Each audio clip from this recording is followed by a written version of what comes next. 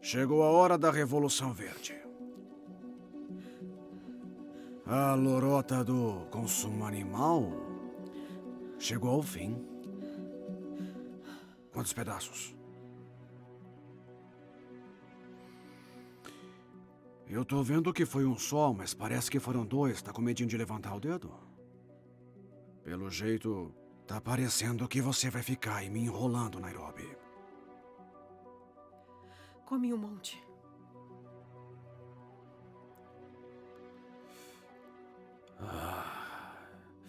Que bom não ter mais dor de cabeça.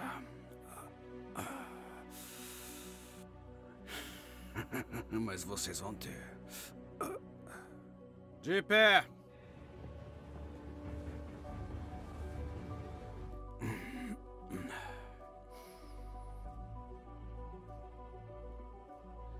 Chegou a hora de abrirem os olhos, não é?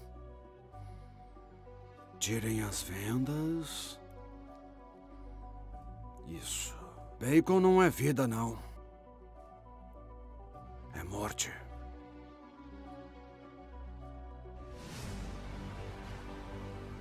Na indústria da exploração, não tem respeito pelos porcos nem pelo gado.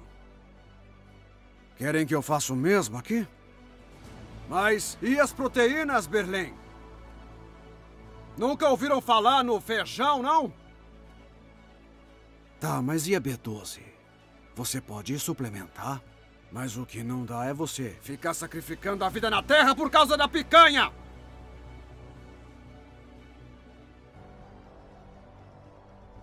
Chega dessa historinha que os bichos nasceram para isso.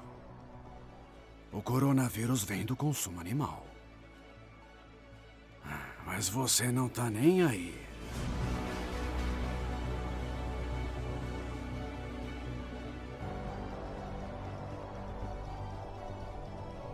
Agora tá todo mundo preso em casa. Fugindo do coronavírus que pode dizimar um terço da população mundial. Vocês gostam de brincar de Deus. Criação de animais. Uma indústria que arrebenta o planeta e pode ser explosiva.